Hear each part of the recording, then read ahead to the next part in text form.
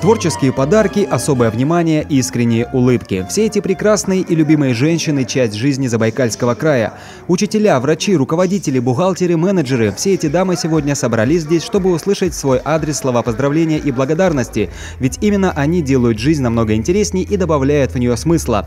И ответственность первого поздравления взял на себя один из самых значимых мужчин нашего региона. Губернатор Забайкальского края Александр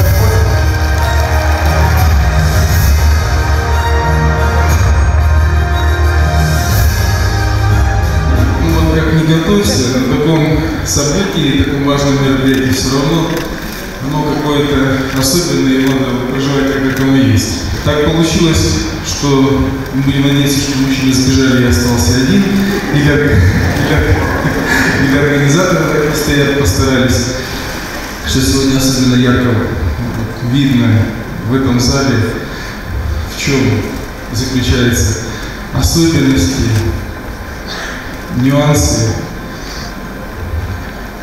проявления этого лучшего, этой лучшей части человечества.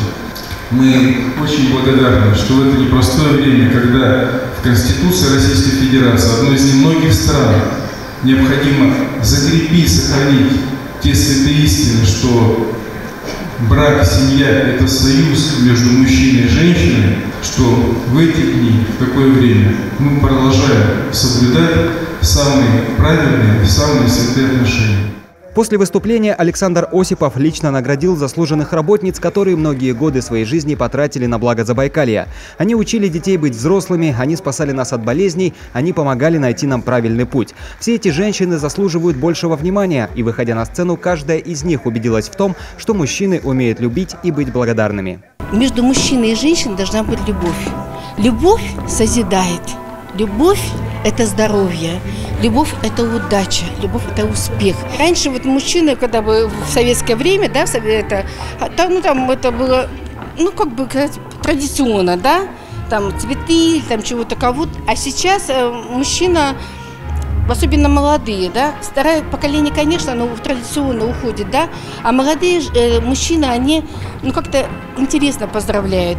Они могут поздравить там с парашютом, они могут поздравить там где-то, э, ну, не знаю, не могу сказать, ну, они как-то интересно поздравляют. Несмотря на такое креативное и масштабное поздравление, женщины все же не стесняются лишний раз напомнить своим мужчинам, что баловать цветами нужно не только в день рождения или на 8 марта. Достаточно уделить всего лишь чуточку внимания, и тогда все беды и проблемы сразу отходят на второй план. В последнее время тенденция на улучшение, на видение нас, э, поздравления со стороны губернатора.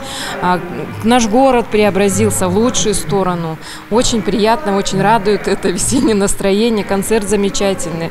А поздравления губернатора очень приятно для нас.